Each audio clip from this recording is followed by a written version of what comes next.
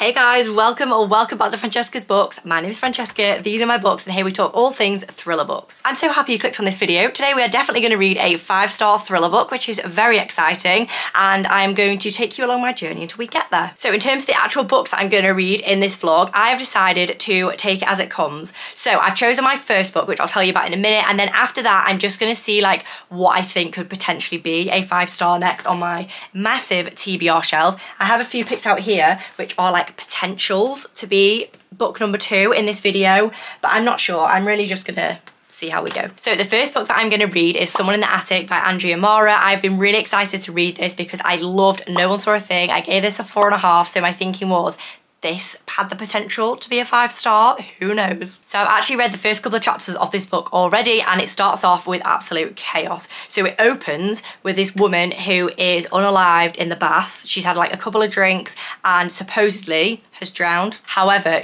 before that, we get her point of view of somebody hearing footsteps like coming down from the attic and that's how the story opens and then we snap to following like our female main character of the story Julia and she has an ex-husband and two children and it is just kind of their story. So her son says that he can hear footsteps in the attic as well and he is really really scared. And then it's also told in a dual timeline so the main character Julia and the friend that was unalived in the bath of when they were younger. So it is kind of going to be like a connecting the pieces type story but so far far the characters have been introduced like in a really gradual way, which I really, really vibe with. It is Saturday and I have done all of my chores and everything that I needed to do already. So I'm hoping that I can just spend the rest of the day reading. So I'm hoping to give you guys some really good updates on this today. So I'm gonna go make a nice drink and I will keep you updated.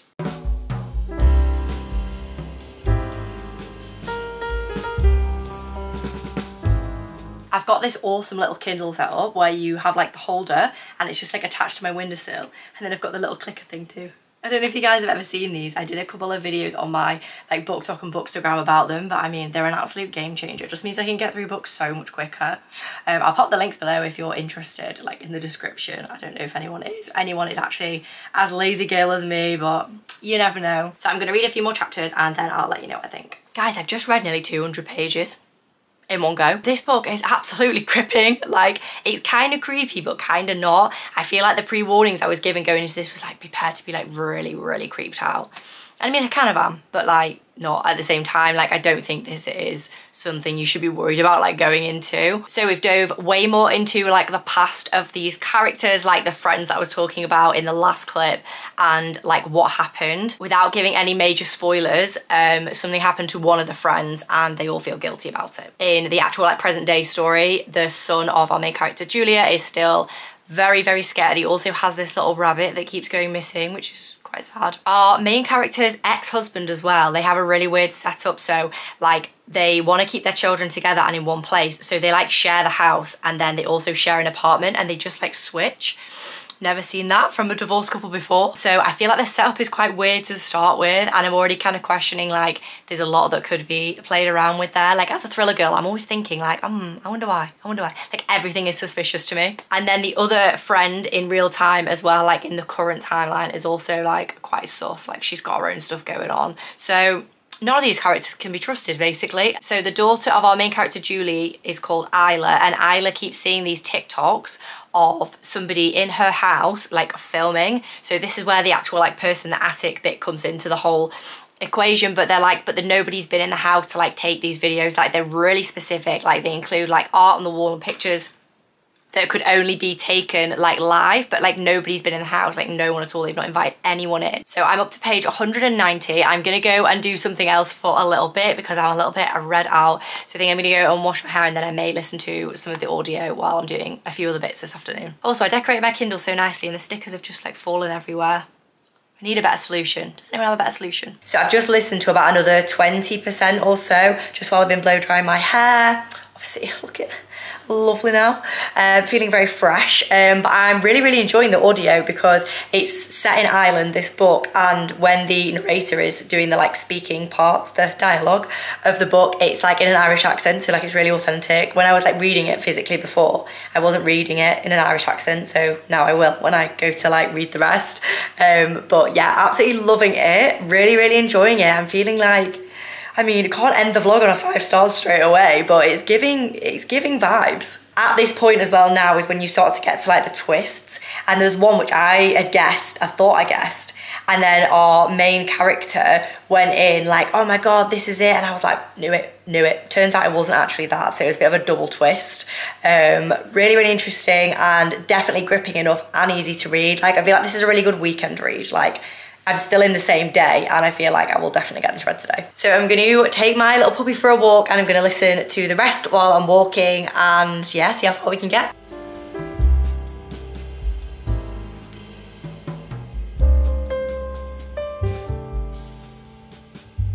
Since it's Saturday, I've got myself a little treat. Let me show you. I mean, this is what Saturdays are for.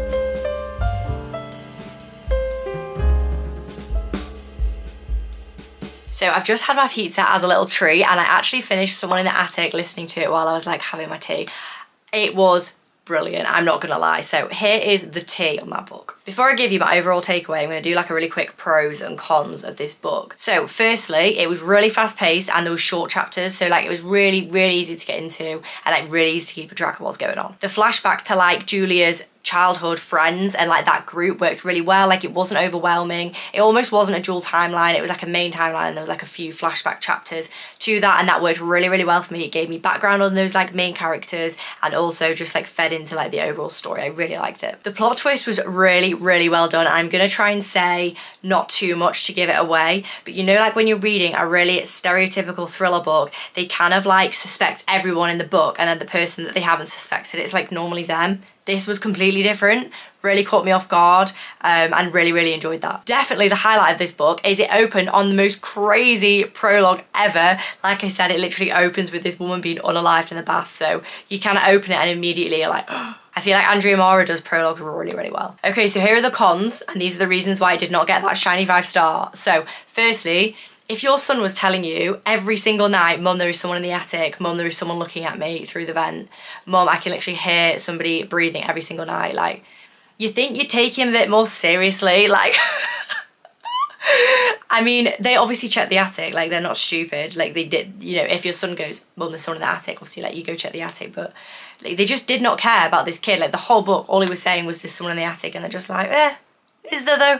Is there? And kind of off the back of that, I feel like the name of this book's quite misleading. I feel like it was going to be really creepy and like almost a little bit spooky, like edge of your seat. It was edge of your seat, but not for the reasons I would have thought, like the creepiness. It was definitely more edge of your seat for like the pacing and the twists nothing to do with the attic. So I ended up giving this book four star and it was quite hard for me to land on that because like you saw my enthusiasm throughout like reading this. It was really, really good. But then when I finished and like actually reflected, I was like, there was a couple of things like here and there that I'm just not 100% on. But overall, it was a really good book and I definitely would recommend it. I think I gave No One Saw a Thing, the first Andrea Mara book I read, four and a half. And I do think I preferred that one.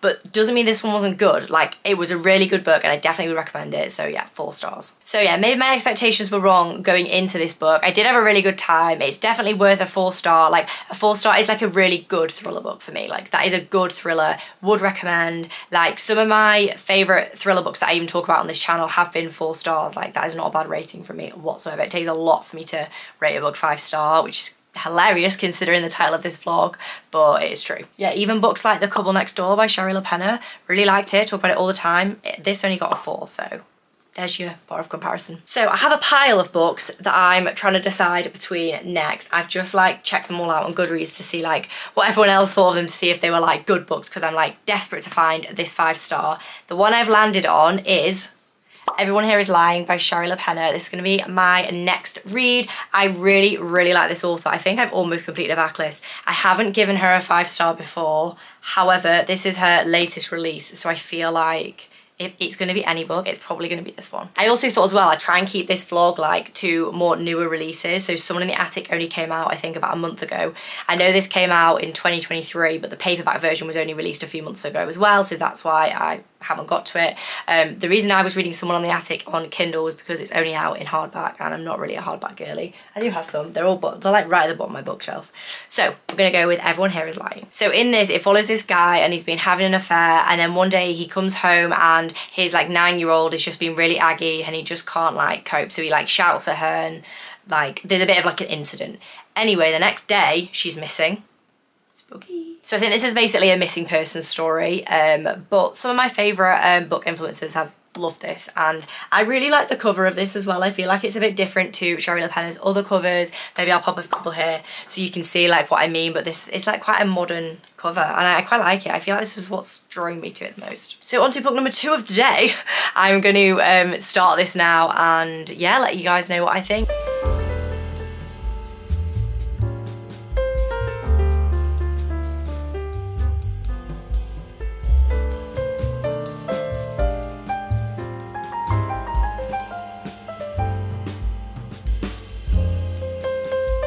very, very early to be vlogging this. It is six something.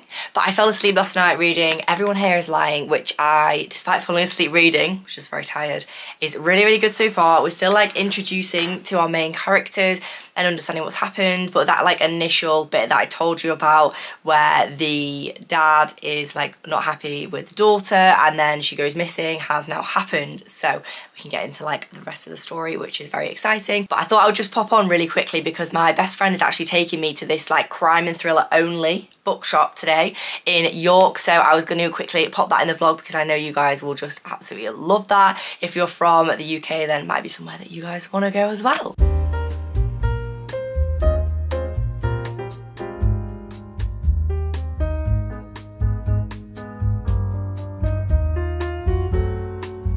So I'm up to chapter 10 and this is getting really, really good. I am so gutted that I haven't read this book before now. Like I knew I loved Shari LaPena so I don't know why I didn't prioritise this more. So I feel I'm getting the feeling that like the police, the detectives in this book aren't stupid. I feel like they're gonna suss out what's happened quite early on in the story and then it's gonna twist and twist after that. Of course like I'll let you know as we go but I just feel like these detectives have like already like sussed out what's going on we don't even know what's gone on, but we kind of like have an idea. I also feel really sorry for like the little brother in this story because Avery, who's the one that's gone missing, like her brother was supposed to like walk her home and then he didn't and he just feels really bad and it's kind of breaking my heart a little bit.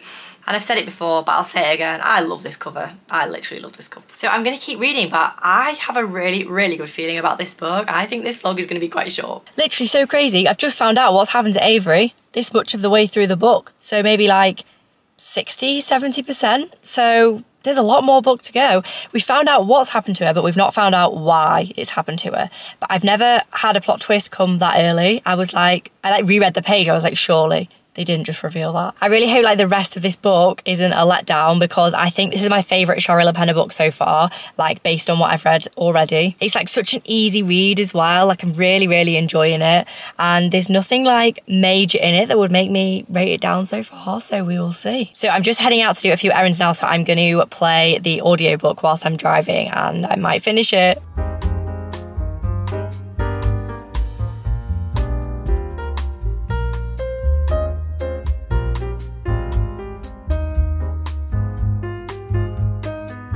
So that little book shopping trip was extremely unexpected. I was literally just running errands and I just it's just impossible for me to not to go in the works Waterstones and the charity shops like around where I live. They're just too good. So I thought may as well include it in the vlog and show you guys what I got. So the first book I bought was Kill For Me, Kill For You by Steve Cavanagh, which is on the three for six pounds in the works. And I already have a physical copy because I liked it so much when I saw it was in the works. This one is actually for my mum. So if you're my mum watching this before I give it to you, you didn't see it, but I just know she's gonna love it. So I just grabbed another copy. And then also in three for six, I got Square by Celia Walden. So this is the same author that wrote Payday. I think it's on the back of it actually.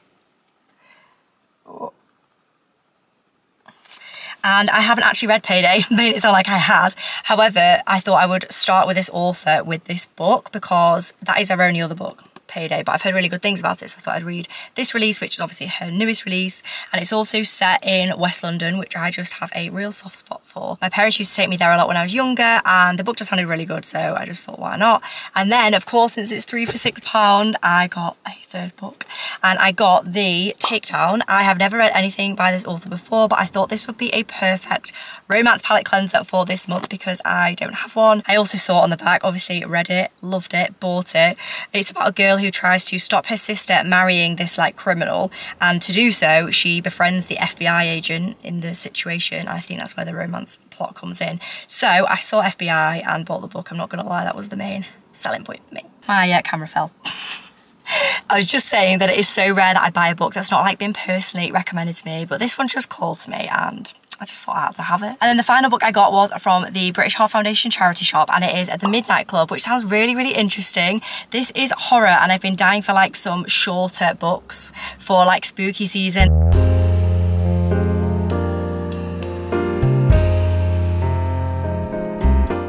I thought we had it. I thought we'd found our five star two books in, but unfortunately it's a 4.5. So don't get me wrong, I did really, really like this book. There's just a few things in the final quarter it's just not giving me that five star feeling. Like, I did not enjoy the way this concluded. I really enjoyed that our main character in this book was a nine year old girl who just seemed really, really sassy. I definitely enjoyed that. And I also enjoyed the fact that out of all these characters, at one point or another, I pretty much suspected all of them of the reason of Avery's disappearance. They were all kind of super sus and all had their reasonings and like potential motives. So I feel like the couple of detectives in this book had a very hard job. But they didn't do a very good job, but that is besides the point. I'm going to tell you my prediction because it is so out there that when you read this, you'll be like, why did you even think that? But my honest prediction was, so there was another neurodivergent child who was, I say child, I think he was about 14 or 15. So it was just him and his mum and the dad had um, like left them when they were younger and I thought it was the dad. And even this like tiny family were like such side characters. I don't know why, I just thought that maybe he understood the challenges of having a neurodiverse child and there was just something there. But this character was never mentioned ever again after the mum was like, no, his dad's not on the scene. So definitely miscalled that. I think my brain just like runs with these things now because I'm like, no, it can't be so-and-so. That's way too obvious. And then sometimes it is. Sometimes it isn't. But if you read this book, you probably don't even know which characters I'm talking about because they were that minor. But besides the point. So the reason this is a four and a half, not a five, is because the end just didn't really hit for me. Firstly, there was absolutely no closure on the situation whatsoever. This book finished and I literally was like, looking for more, like looking for an epilogue or like more pages. I was like, surely not. And I hate it when books do that. Like, I used to quite enjoy it when there was like an ambiguous ending and I'd be like, oh my God, like I wonder what happened. And now I'm just like, if it doesn't conclude, I can't get on board with it. I need to know what happened. And also the way things went in just like these final, like maybe 20%, like it was really, really far-fetched. And you know what? I didn't even mind it being far-fetched. Like it's fiction at the end of the day. So it was quite interesting, but I finished it and I just thought it's not a five star. But then I thought it is definitely my favourite Shari LaPena book that I've read so far. So I definitely would still recommend it. But for the purposes of this vlog the search continues. And the search is going to continue with drum roll Strange Sally Diamond because I've not seen anyone rate this like not a five star like it seems to be a love it or hate it book so anybody that's liked it it's been like five star one of the best books I've read, absolutely loved it. But then people who haven't been a fan, it's been like really low. I've not really seen any mixed opinions. So I'm hoping that I'm going to be on the side of love it. I've also seen some really, really, really fantastic reviews from people's um, pages that I really trust on this. So I'm hopeful. I also actually had tickets to meet the author of this book, Liz Nugent, um, at a lovely independent bookshop called Lingham's, which is um, just outside of Liverpool. However, I was poorly, my voice still isn't really back, so it would have just not been possible um, if you weeks ago. But I did get a signed copy of the book because I was supposed to attend and obviously paid for it. So that is really fun that um, this author has actually had this book and signed this book. So this book seems really character driven which isn't normally my cup of tea but I do just have a really good feeling about this. So like the little intro is Sally Diamond cannot understand why what she did is so strange. She was only doing what her father told her to to put him out in the rubbish when he died. Okay so I'm gonna dive straight in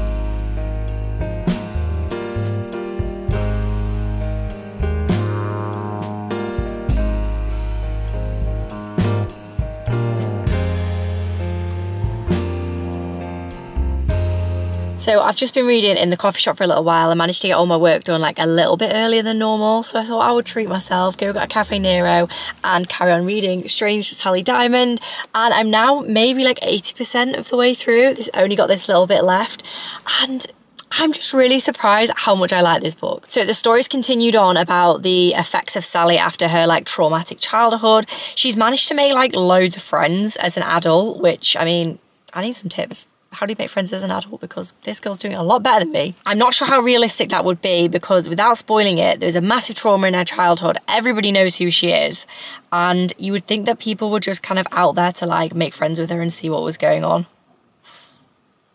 Hope they want to be in the vlog too. Also, about the 20% mark, a dual timeline came in, which was very exciting, um, of a teenage boy. And I don't really know how much to say in this because I think this is going to be a really, really good read, and I don't want to spoil anything because I went into this book completely blind, literally having read that Sally had put her dad out with the trash after he died. Like, that's all I knew about this book, that she was a bit there was clearly something wrong with her. And I just feel like that's the best way to go into this. If I'd have known more, I don't think I'd have been as drawn to it because I feel like as I've gone, the plot's developed in a way that if I knew that some of these things were coming, I wouldn't have been like so excited about it. Anyway, things are really starting to come together now, and I like our main character Sally so much more than I thought I was going to the beginning. So much more.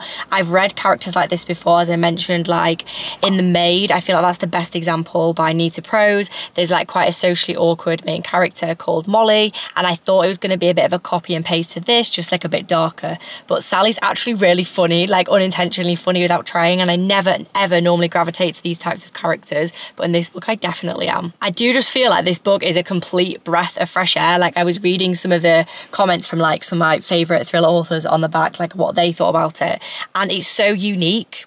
It's so unique.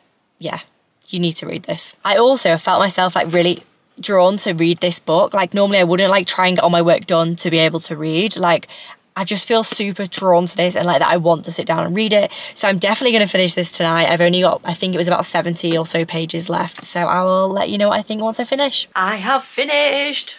Strange Sally Diamond. I actually finished it last night and I knew I would because I was just too enthralled in this book. I needed to know what happened. So before I give you my thoughts on the ending of this book, let's recap on exactly what we thought so far. So this book had an explosive beginning. Like it starts with Sally literally incinerating her late dad's remains. I mean, what a crazy gal. Then with a bit of help from like her amazing community that she'd built over the last year or so, she really tries to like rebuild her life and like heal from past trauma that he's kind of gone into detail in in the book. I'm going to caveat this right now by saying there is probably a million trigger warnings in this. It is very, very dark everything that you could probably be triggered by is present in this book. So if you're going to go into it, definitely just check that beforehand if there's anything specific that you try and avoid. So having finished the book, I'm not sure I would actually class this as a thriller, like reflecting on my entire reading experience of it. I really do think it is like a dark contemporary there wasn't any major plot twists that weren't sort of just naturally embedded into the narrative. There was nothing that you were kind of, actually maybe there was. Is that unfair to say there was no plot twists? Depends how into your thrillers you are. Anyway, our main character Sally did definitely fall into that like category of like the maid type character and how to kill your family. Like that was very much the vibe of this book still. However, it was definitely, definitely like the most character driven book that I have also genuinely enjoyed. I love this character. I love that it was told in dual point of view. That kept it really, really fresh. I loved the characters in it, but the ending just did not hit. I decided to give it a four star and I think that's fair considering it was a really, really, really good good book and then the ending was probably more like a two or a three. So I would put this at a full star and it is definitely a book that I would recommend, particularly if you enjoyed these books that I'll pop here. I just think you will love this. This is really like a book on its own. It's very unique. So the search continues for our five star read of this vlog. But I mean, I don't think we're doing too badly because we've had two four stars and a four and a half star so far so I feel like that is a really good place to be and the books that I've read in this vlog so far have been really good so like they're good recommendations to take away but we need that five star, we need that shiny five. So at this point I was getting a little bit desperate and I decided to pick a couple of books that I've had my eye on and have been really really highly rated and recommended to me and then ask you guys on Instagram like which one you thought I should start with because clearly my decisions are not paying off in terms of five stars. So the two books that I was considering were The Drowning Woman and Look Closer. And I've put a poll up and it's only been up for a few hours. So I'm hoping it doesn't change, but I'm just desperate to get into my next read. So we're going to see the results. So the results are in with 59% to 41%. We're going to be reading Drowning Woman. Honestly, I'm quite happy about that. Like, I'm not mad at the outcome of that poll because I actually had The Drowning Woman on my October TBR last year, so 2023, but I just couldn't get my hands on a copy. I don't know why. I think it was only published in America at the time. It is published in the UK now, definitely. However, I'm going to get this on my Kindle because I'm like really desperate for a Kindle read. The last two books that I've read have been physical and we all know how much easier it is reading on Kindle. So I've got my Kindle charged and ready and I'm really excited to start this. So this book actually follows follows two female main characters. One of them is homeless, just like absolutely hates her life, like never thought she'd be in this situation. And that other female main character is like really wealthy, has a husband, has kids, like from the outside, like just looks like she has it all until one day our homeless female main character sees her like trying to unalive herself and she's like, I don't even want to be here. And the story kind of goes from there. And I think it's a bit of a case of this homeless lady who has had like a really shit time basically wants what she has and then tries to get it and then I think it's like a once she's got it she realizes exactly how bad it is. I think that's the premise. you guys know I hate knowing too much about a book and when I initially saw this book like last year it was kind of pitched as like two women swap lives so maybe that's what happens um, but it does sound really exciting as soon as I put that poll up I actually got a couple of messages that were like oh my god I can't believe you've not read The Drowning Woman like absolutely you need to read it so I'm just going to dive in and just see what I think. And fingers crossed it's a five star and if it's not a five star then you guys have another book recommendation to go up. See you very soon.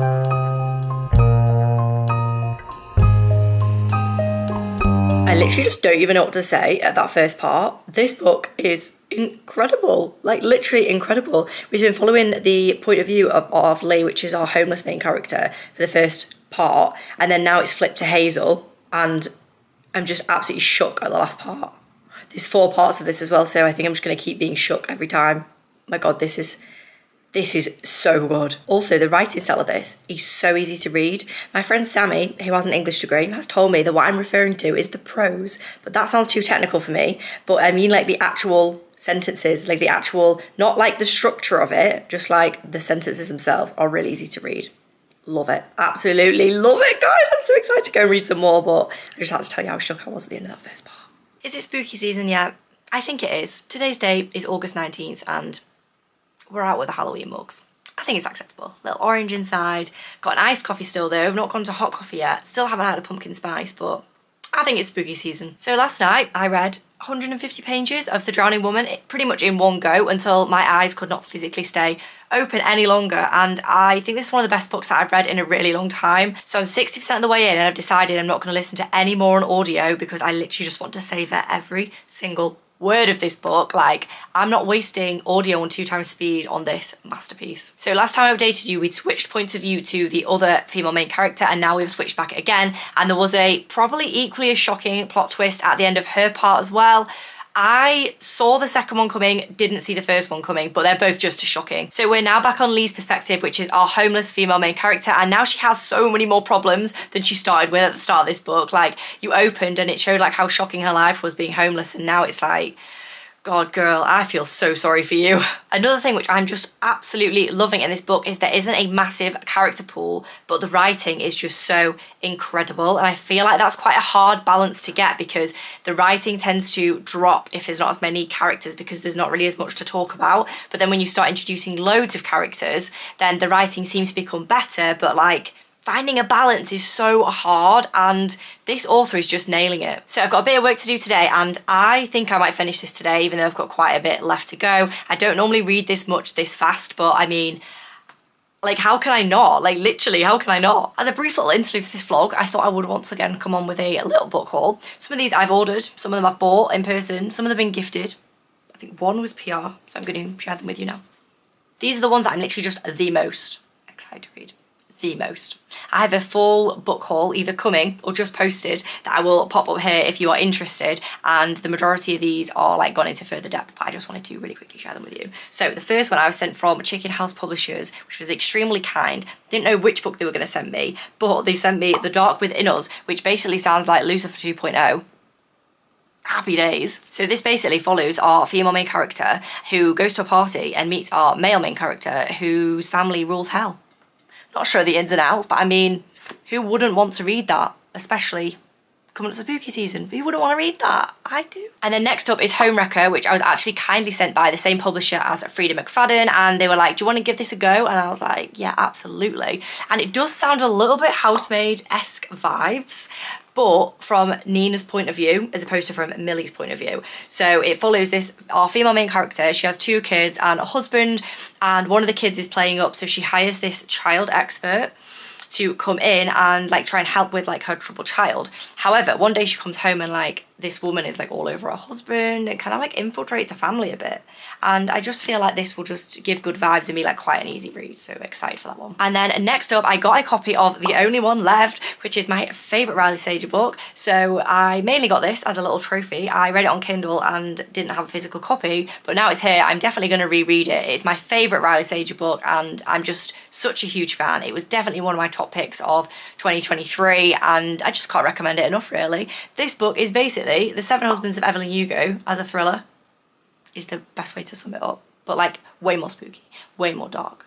Fantastic. Next up, I have two books which are on my spooky season reading vlog agenda of the next reading vlog that I am going to film. That was kind of like in a little bit of preparation. And the first one is the book which, if you type in anywhere, the best spooky season read, this is just the book that comes up everywhere. Of course it is The Sundown Motel by Simone St. James. Since this has been recommended so many times, I do actually have quite a good idea of what it's about.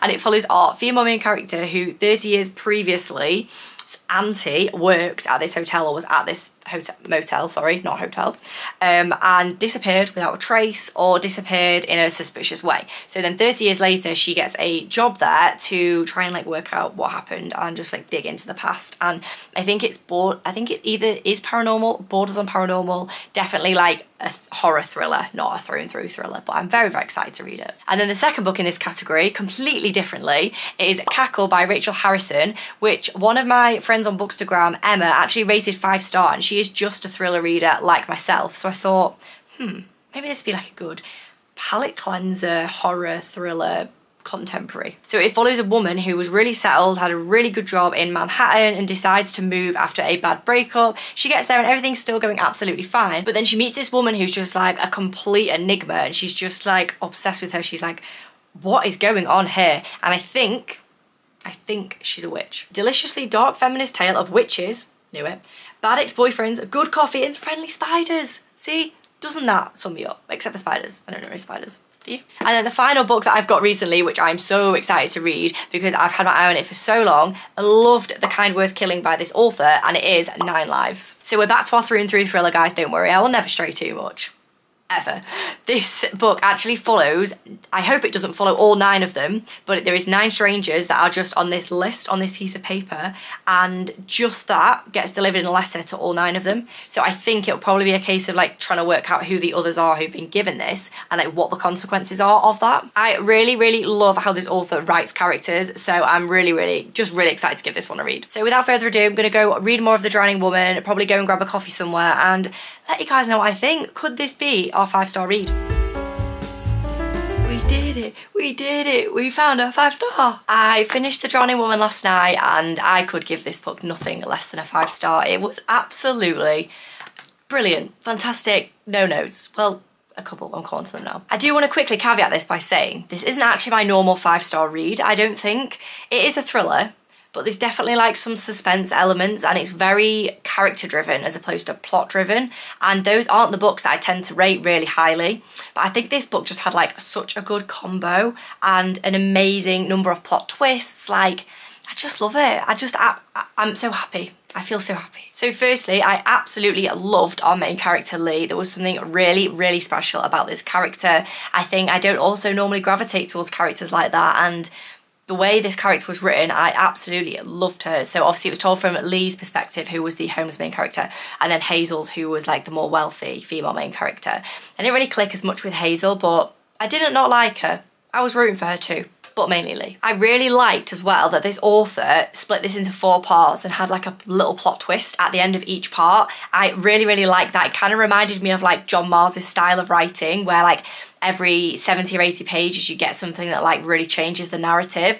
And for some people that's too much. They don't like the plot twists like throughout the book and they say that that you know it's too centered on those twists. But for me personally that that's what engages me as a reader and that's what I'm always gonna like recommend and look for and that really really worked for me. I feel like it just keeps you really hooked in. You're like oh my god and then now you have to like read the next few chapters because you're like how's that even possible? Like it just works do you know? And then the epilogue of this book I think that's why it's get all five stars, to be honest. So the first three parts were a five star. The last part, I was kind of getting a bit like, oh, I don't know, maybe it's going to be a 4.5. I'm just, I don't know. And then the epilogue came and I was like, yeah, it's a five. It's definitely a five. The only teeny tiny note I had on this, still a five star, but the only tiny note is, it's not a spoiler to say that like these main two characters that I've been talking about throughout this whole vlog know each other. And I just wish that like towards the end they could have like worked together like a little bit more. Isn't a spoiler, just had more of a liaising, I think. I highly, highly recommend this book. It isn't actually published in the UK in paperback, and I don't think it's published in hardback in the UK either. So I did obviously read it on my Kindle, but I do know you can order a copy. Like if you don't have a Kindle, you can order it off Amazon. I think it just takes a little bit like longer to get here but due to the success of this book I've no doubt that a UK publisher will pick it up if you if it's not like top of your list to read but just thought it's worth mentioning. So in this vlog, we have read two four stars, one 4.5 star, and a five star read, which I think is like super successful because it's meant that you guys have got recommendations like of good books as well. Like my all the books I've read in this vlog have been really good and I would recommend all of them. Obviously the point was to find a five star, but sometimes you read books and you're like, well, two, two and a half, but that hasn't been the case. So I'm really happy because it's giving you guys all the more recommendations to go for. So thank you for joining me on this journey to find a five star read. My final five star read read, of course, is The Drowning Woman, and I would definitely recommend this. And don't forget to like and subscribe to join me next time.